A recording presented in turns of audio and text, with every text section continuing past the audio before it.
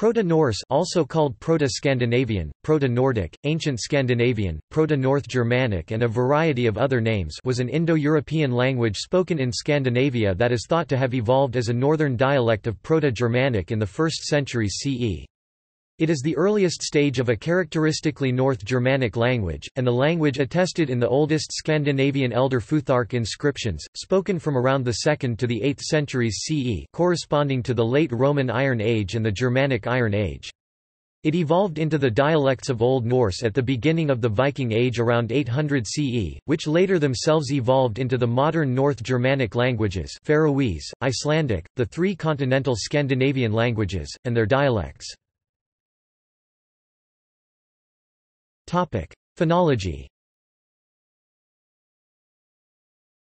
Proto-Norse phonology probably did not differ substantially from that of Proto-Germanic.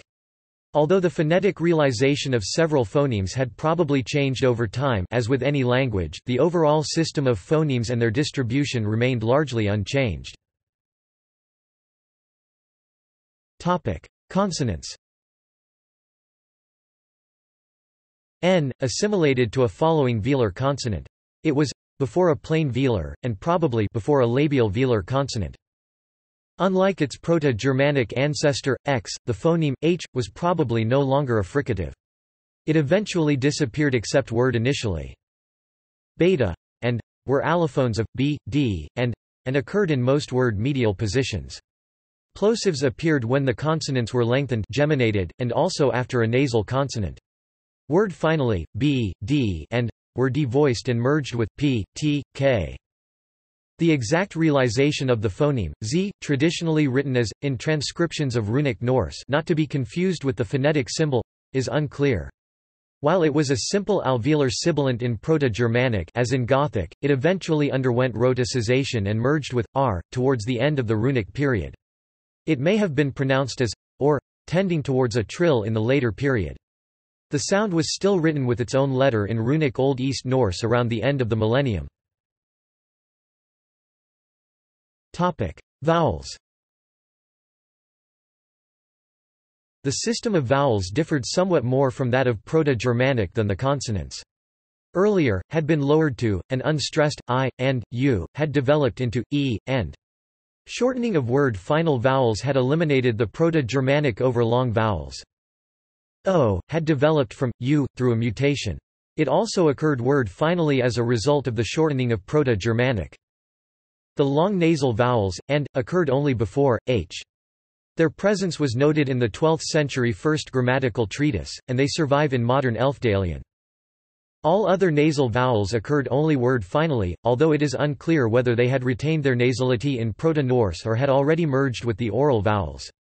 The vowels, o, and, were contrastive, however, as the former eventually developed into, u, triggering u mutation while the latter was lowered to. The back vowels probably had central or front allophones when, i, or, j, followed, as a result of i mutation.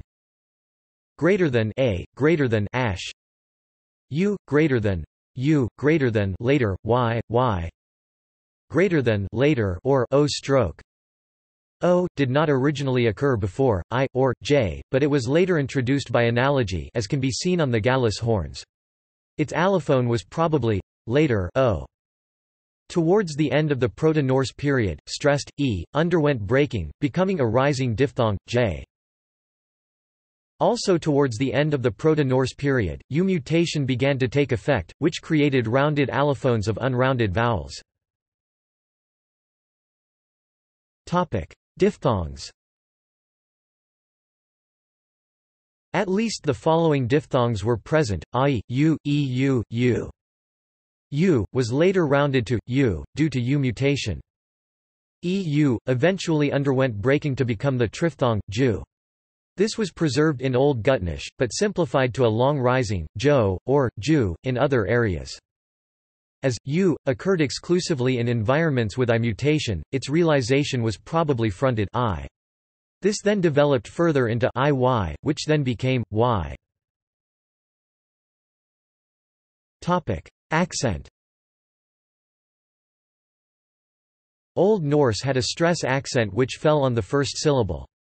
Several scholars have proposed that Proto-Norse also had a separate pitch accent, which was inherited from Proto-Indo-European and has evolved into the tonal accents of modern Swedish and Norwegian, which in turn have evolved into the stød of modern Danish.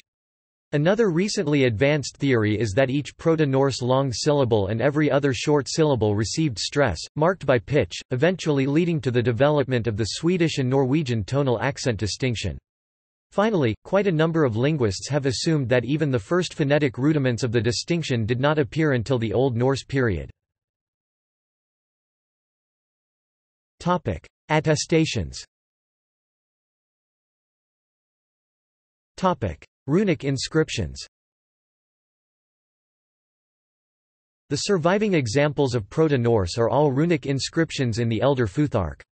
There are about 260 surviving Elder Futhark inscriptions in Proto-Norse, the earliest dating to the 2nd century. Examples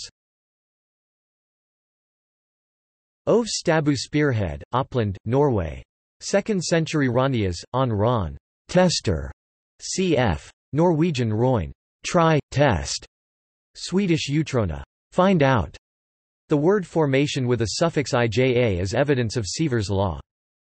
Golden Horn of Gallehus II, South Jutland, Denmark 400 CE, Ek Holtias Horna. I, Hilewagastus of Holt, made the horn.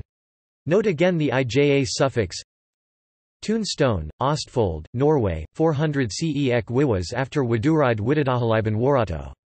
Me z Waduride Stena Rihas Dotriz Delitan Arbija Siostas Arbajano, I Wiwas, after Waduridas bred Warden Rot. For me Waduridas, the stone, three daughters prepared, the most noble of heirs. The Einang stone, near Fagernes, Norway, is dated to the 4th century.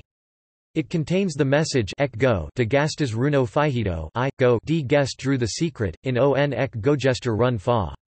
The first four letters of the inscription have not survived and are conjectured, and the personal name could well have been Gudagasti or something similar. Kragehul spear, Denmark, c. 500 CE ek Arillas Asugisalas Muha hate, Gagaga Jinuga, he less than pre greater than slash pre greater than dot dot dot Leja.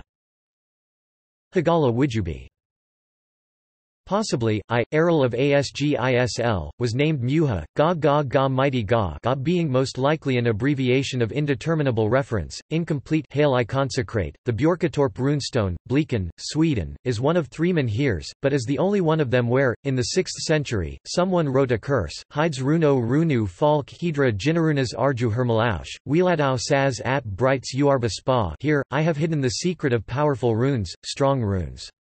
The one who breaks this memorial will be eternally tormented by anger. Treacherous death will hit him.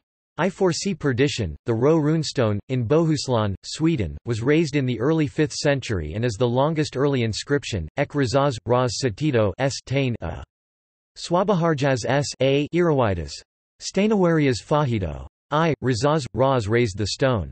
Swabaharjas with wide wounds. Steinawarias stone guardians carved. Topic loanwords Numerous early Germanic words have survived largely unchanged as borrowings in Finnic languages. Some of these may be of Proto-Germanic origin or older still, but others reflect developments specific to Norse.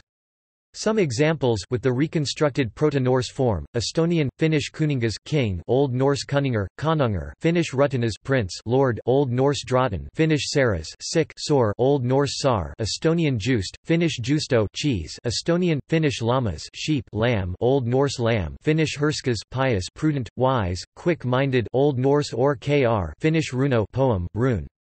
Secret, mystery, rune Old Norse run Finnish vaate garment Finnish visas wise topic Other Some Proto-Norse names are found in Latin works, like tribal names like Suiones asterisk Suiones, Swedes.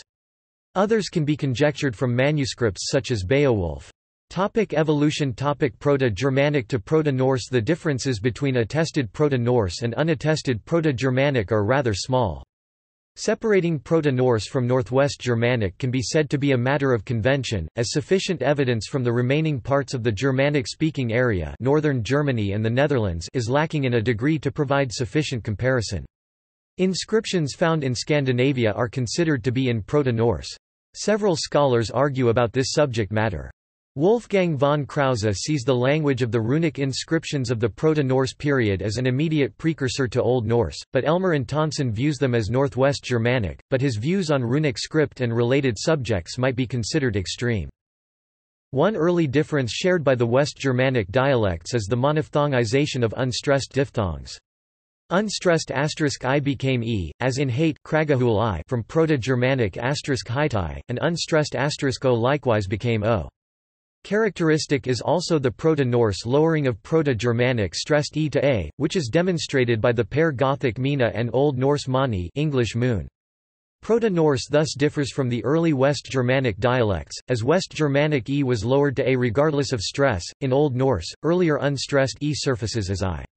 For example, the weak third-person singular past tense ending da appears in Old High German as ta, with a low vowel, but in Old Norse as i, with a high vowel. The time that asterisk z, a voiced apical alveolar fricative, represented in runic writing by the Algiz rune, changed to, an apical post-alveolar approximant, is debated. If the general Proto-Norse principle of devoicing of consonants in final position is taken into account, asterisk z, if retained, would have been devoiced to s and would be spelled as such in runes.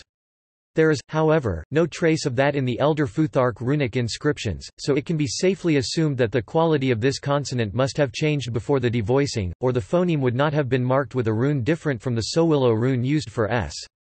The quality of the consonant can be conjectured, and the general opinion is that it was something between z and r, the Old Norse reflex of the sound. In Old Swedish, the phonemic distinction between r and was retained into the 11th century, as shown by the numerous runestones from Sweden from then. Proto-Norse to Old Norse From 500 to 800, two great changes occurred within Proto-Norse. Umlauts appeared, which means that a vowel was influenced by the succeeding vowel or semivowel. Old Norse gestr guest came from pn gastas guest. Another sound change is known as vowel breaking in which the vowel changed into a diphthong, hjarta from asterisk herta or fjor from asterisk feras. Umlauts resulted in the appearance of the new vowels y like fila from asterisk fulajana and o like doma from asterisk domajana. The umlauts are divided into three categories, a umlaut, i umlaut and u umlaut, the last was still productive in Old Norse. The first, however, appeared very early, and its effect can be seen already around 500, on the golden horns of Gallehus. The variation caused by the umlauts was itself no great disruption in the language. It merely introduced new allophones of back vowels if certain vowels were in following syllables. However, the changes brought forth by syncope made the umlaut vowels a distinctive non-transparent feature of the morphology and phonology, phonemicizing what were previously allophones. Syncope shortened the long vowels of unstressed syllables, many shortened vowels were lost. Also, most short unstressed vowels were lost. As in PN, the stress accent lay on the first syllable words as PN asterisk catalos became on catler cauldrons, PN horna was changed into Old Norse horn and PN gastas resulted in on gestr guest. Some words underwent even more drastic changes, like asterisk habukas which changed into on hauker hawk. References External links General information Proto-Norse paradigms and links